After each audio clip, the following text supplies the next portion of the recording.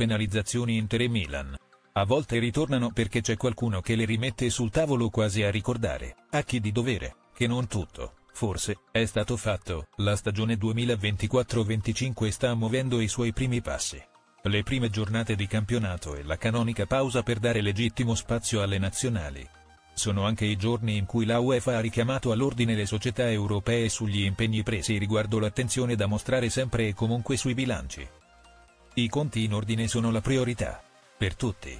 Anche se poi non tutti vengono perseguiti e sanzionati nella medesima maniera.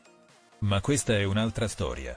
La storia dei conti in ordine è da sempre nel cuore e nelle corde del presidente della Fiorentina, Rocco Commisso. Da imprenditore conosce bene il peso e la valenza del denaro. Sa bene quanto i debiti possano incidere negativamente sull'operatività di un'azienda sui conti tenuti sotto controllo e sulla costante battaglia contro ogni tentativo di aggirare le regole il numero uno della Viola ha costruito la sua gestione.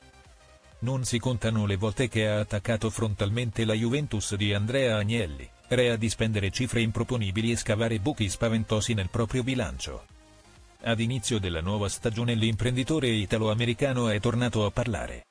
Penalizzazioni Inter e Milan, la verità di Rocco Commisso grandi società sempre più indebitate e che continuano a spendere sul mercato.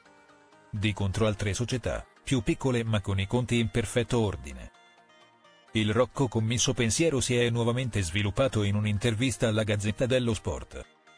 I conti che non tornano mai, almeno in determinate e ben individuabili società, mentre altrove si fanno i salti mortali per ottemperare al meglio alle rigide regole del famigerato, e quanto mai osteggiato, financial fair play. Su questo tema Rocco Commisso non indietreggia di un millimetro.